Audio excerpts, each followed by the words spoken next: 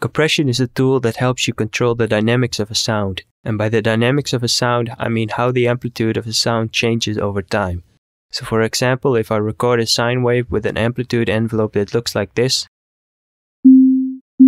this is the waveform that I get, and you can clearly see that the amplitude changes over time. So compression is a tool that you can put in your effects chain that gives you some control over how that amplitude changes over time.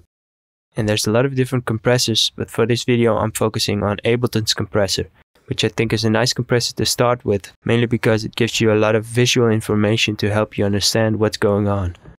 Okay, so the type of compression that Ableton's compressor does is called downward compression. And often when you hear someone use the word compression, what they're referring to is downward compression. And what downward compression means is that whenever the signal that comes into the compressor rises above a certain amplitude threshold, the compressor reduces the gain of that signal, which means the amplitude is pushed back down. So in Ableton's compressor, you can control the level of the threshold where compression starts. So let me bring the threshold down to a point where it's low enough for the signal to pass it. And you can see by looking at this yellow line at the top that when the signal passes the threshold, compression kicks in. So this gray shape represents the input signal and this yellow line represents the amount of compression that's being applied. So the farther the yellow line goes down, the more compression is being applied. And if I go to the output graph right now, you can see by this white outline that the farther I bring down the threshold, the more the signal gets pushed down. So the white outline here represents the output of the compressor. And I'm going to record what we have now into a new audio track. So what we just did is the main purpose of compression, which is to reduce the dynamic range of a sound, or in other words, to reduce the amplitude difference between different parts of a sound, like the start and the tail. And in this case, the start used to be a lot louder than the tail, and now it's not, so we use compression to reduce the dynamic range of the sound. So what we've been doing so far is extreme compression, where the compression ratio is set to infinite which means that in the output the signal will never be louder than the threshold that we just set. But we can bring the ratio down and you can see that now the compression becomes more subtle and no longer pushes the signal completely down to the threshold. So these are the first two controls that we have, the threshold and the ratio. And so you can see that both of these controls determine how hard your sound will be compressed. But it's also important to understand the main difference between threshold and ratio, which is that the threshold determines at what point in time compression starts and ends. Because you can see that the farther I bring down the threshold, the later compression ends. But ratio only controls how hard the compression is and doesn't affect the timing of the compression. Another thing that's important to understand is that the farther the input signal is over the threshold, the higher the amount of compression is. And you can see that if you look at the yellow line, because the compression is way harder at the start of the sound than when the signal is close to dropping below the threshold. Okay, so now I'm going to move on to the controls that affect how compression applies over time. And these are a little more difficult to understand. So first we have attack. And what attack does in Ableton's compressor is it affects how quickly compression ramps up as soon as the signal rises above the threshold. And the higher the attack, the longer it will take before we reach the highest amount of compression. So earlier when attack was 0 milliseconds, compression applied right away when the signal passed the threshold. But now with a higher attack, when the signal first passes the threshold, there is no compression yet, but it starts to ramp up pretty quickly and after a little bit of time we reach the highest amount of compression before compression decreases again.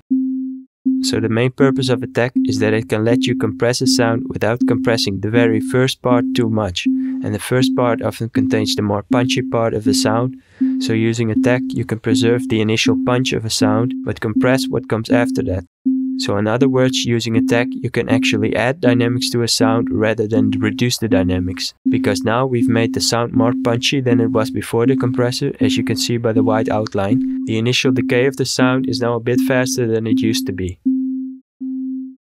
So then there's release, and release affects how quickly the compression effect ramps down again after the input signal falls back down. The higher the release, the longer it will take for the amount of compression to fully decrease after the input signal drops down. And you can see when I bring the release up, the output is no longer pushed up against the threshold, but instead we keep a high amount of compression even after the signal falls down. and we end up with almost the same dynamic shape that we had before the compressor, because now we keep almost the same amount of compression during the entire sound, which you can see if I switch back to the gain reduction view.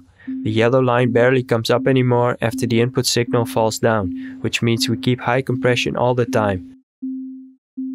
So the main purpose of release is to allow you to control how quickly the amount of compression decreases.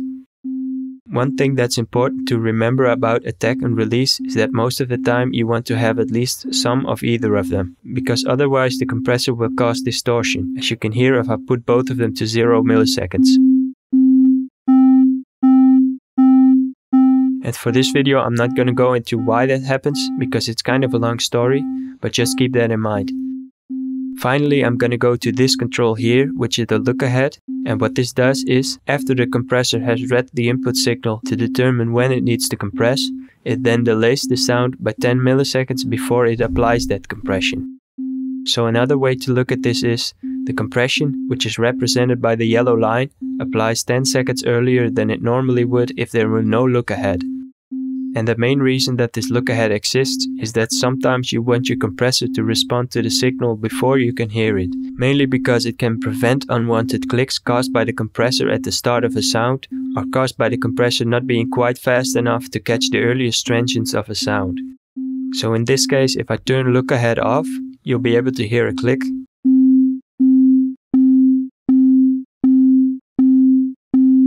which in this case is being caused by the compressor itself so a small delay of just a couple of milliseconds is needed to get rid of this click. You cannot see the difference right now because it's only 10 milliseconds, but you can definitely hear it.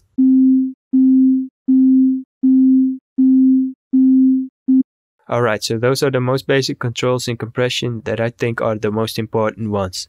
There's a lot more that can be said about compression, but I think if you understood everything so far, that should probably help you understand compression enough to be able to use it in your projects. So I'm gonna leave it there for now, and I will probably be back soon with another video on some more compression stuff.